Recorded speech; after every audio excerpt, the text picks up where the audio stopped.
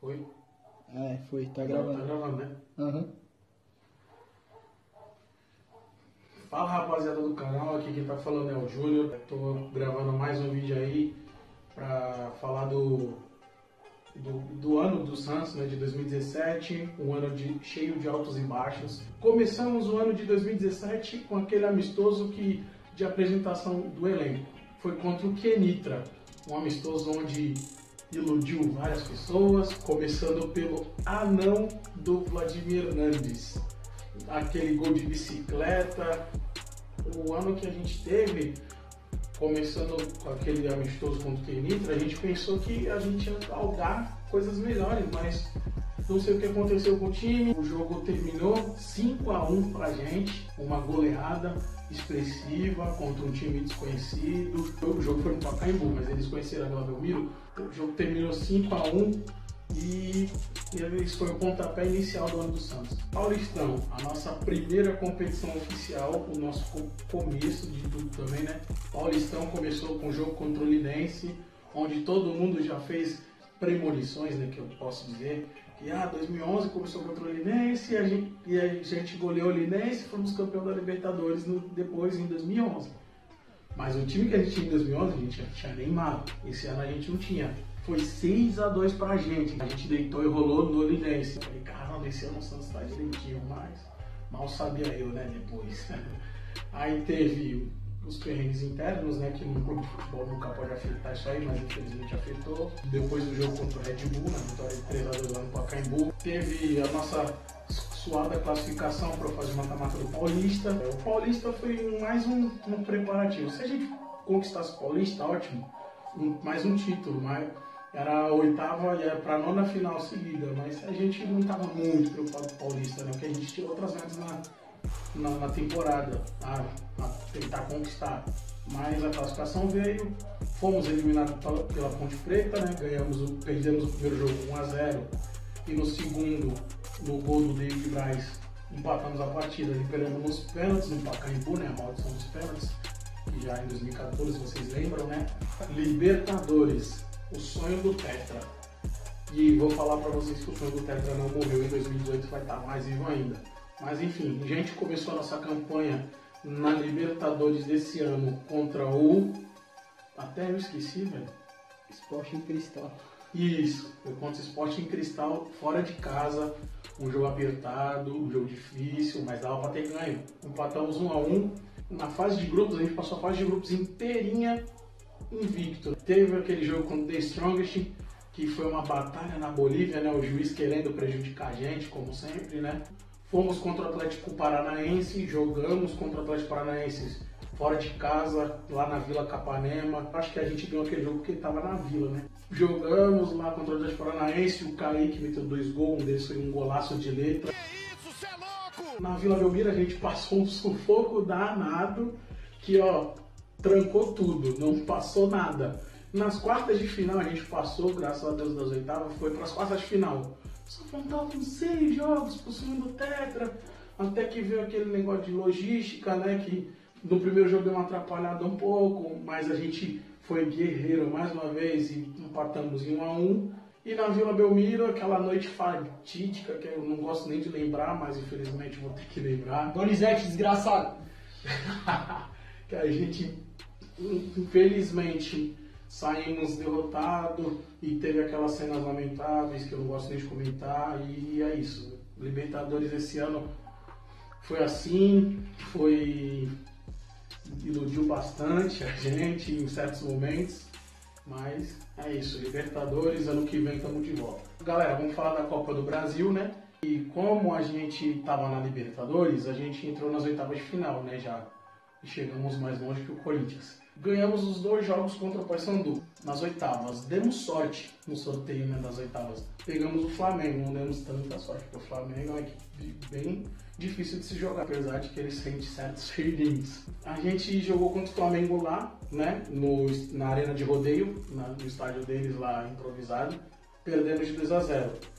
No segundo jogo na Vila Belmiro, ficou aquele sentimento de dava pra se classificar. Quase deu.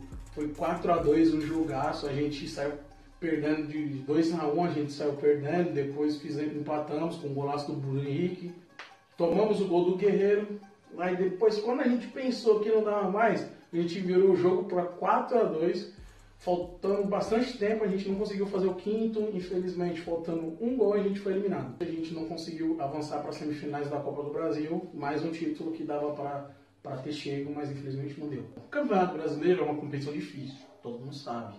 38 rodadas, uma competição longa.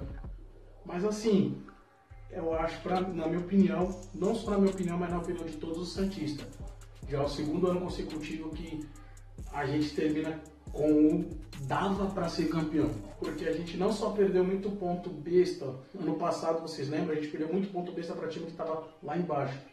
Esse ano a gente não só perdeu muito ponto besta para que time estava lá embaixo, e foram na vila, a gente per... esse ano a gente não vou te falar que a gente perdeu o, o, o brilho de jogar na vila, porque a gente nunca vai perder o brilho de jogar na vila, a vila sempre vai ser a nossa casa, o Pacaembu também sempre vai ser a nossa segunda casa, mas esse ano a gente, sei lá o que aconteceu, que a Vila perdeu um pouco o, a questão de caldeirão. A gente deixou muito a desejar dentro da Vila Belmiro. Perdemos bastante jogos esse ano que, pô, a gente não tá não sei quantos anos sem perder para o São Paulo na Vila, perdemos esse ano. Não foi no Paulista, voltando lá atrás.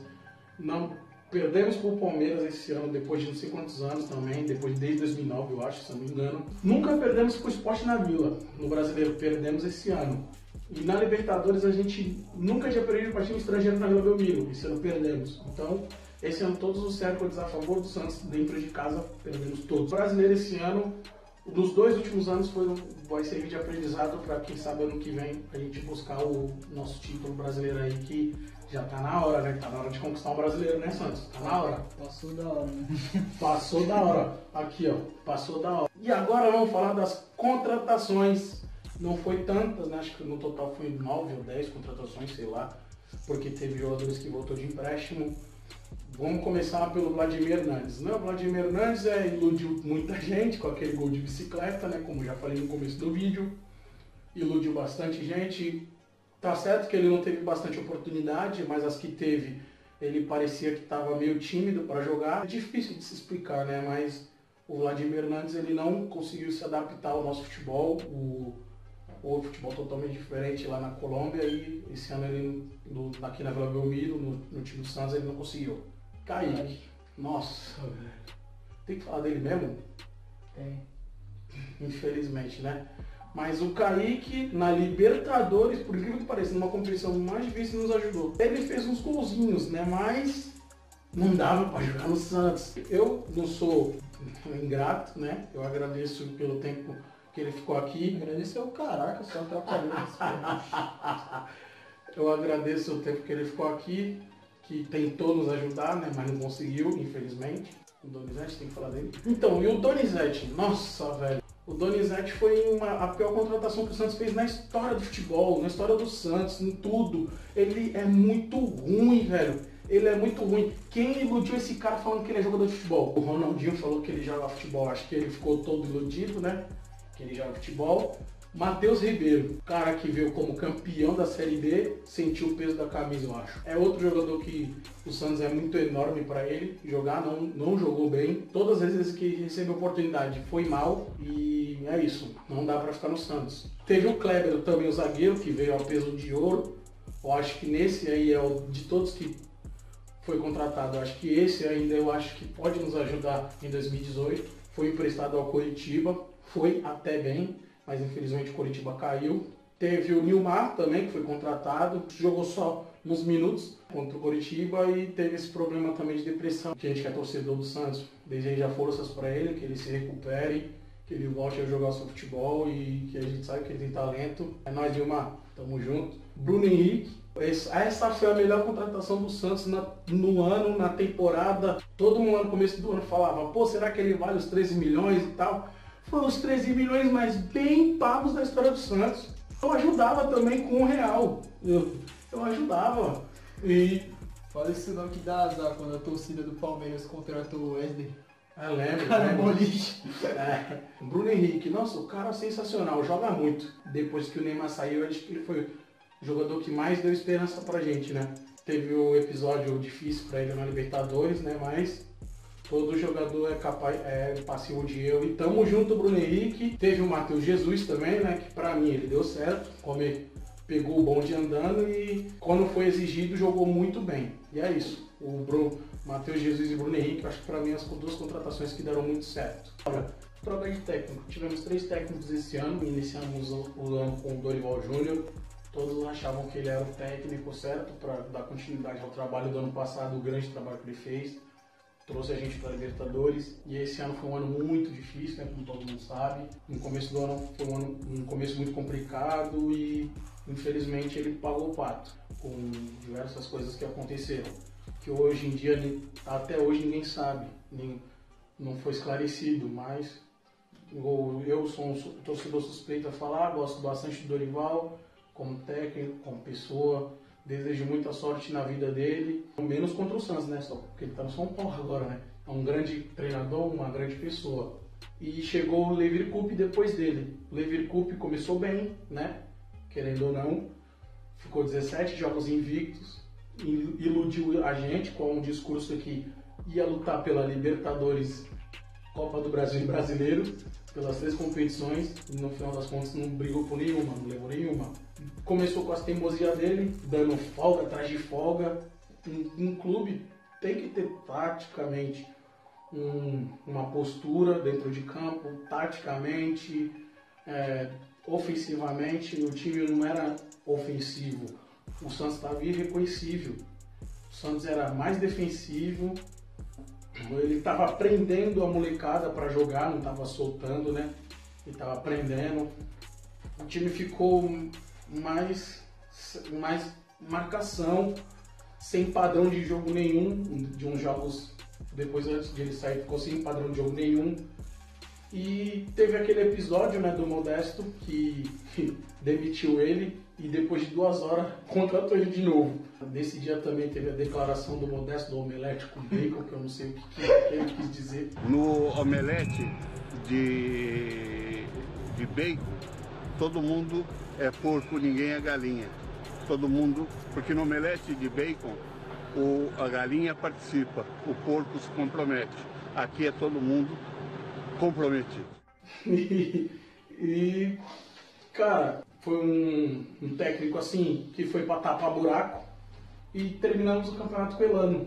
Elano é o menos culpado disso tudo só selou nossa classificação para Libertadores, nos, ficou nos últimos sete jogos. Ano que vem ele vai fazer o curso, vai se especializar na área e quem sabe no futuro próximo ele venha a ser treinador do Peixão.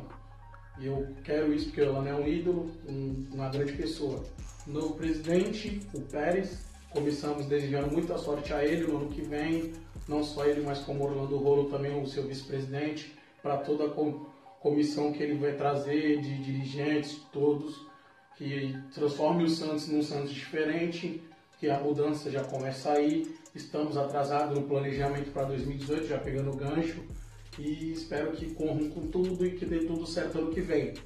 Para técnico, para ano que vem, eu quero Jair Ventura, não sei vocês, mas eu prefiro Jair Ventura.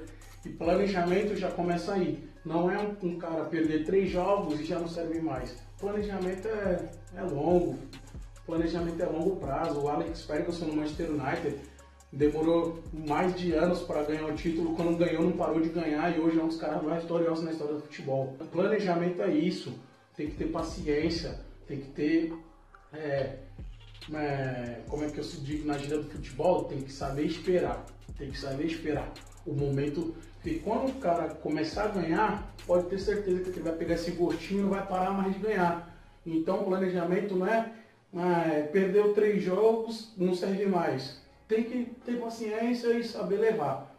E então, para mim, o Jair Ventura é o cara certo, espero que isso aconteça, mas se não acontecer, espero que a diretoria tenha sabedoria para poder contratar um técnico que com sangue nos olhos e que faça a gente ser um Santos vencedor ano que vem. Esse é o planejamento para 2018, já pegando o gancho com o Pérez e a gente já deseja sorte para ele. Os moleques da base tem que dar oportunidade para os moleques da base, porque o Santos sempre foi assim, meninos da vila, então, gerações. tem que dar oportunidade para o Arthur Gomes, pra, no meu ver, ele é um bom jogador, tem que dar oportunidade para o Rodrigo Góes, o Yuri Alberto, o Diogo Vitor, o Diego Cardoso, que eu até brinquei com várias pessoas esse ano, nós sofreu com o Kaique e o Diego Cardoso fazendo igual doidado no Santos B, velho.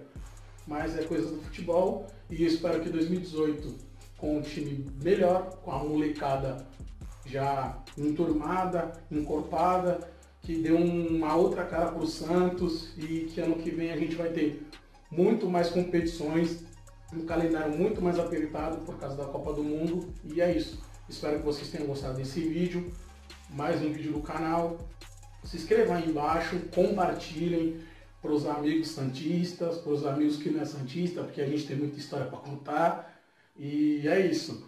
Espero que vocês gostem é, e eu vou continuar falando se o meu canal chegar a 200 inscritos até fevereiro, eu vou fazer o meu cabelo platinado, beleza? Valeu, é nóis!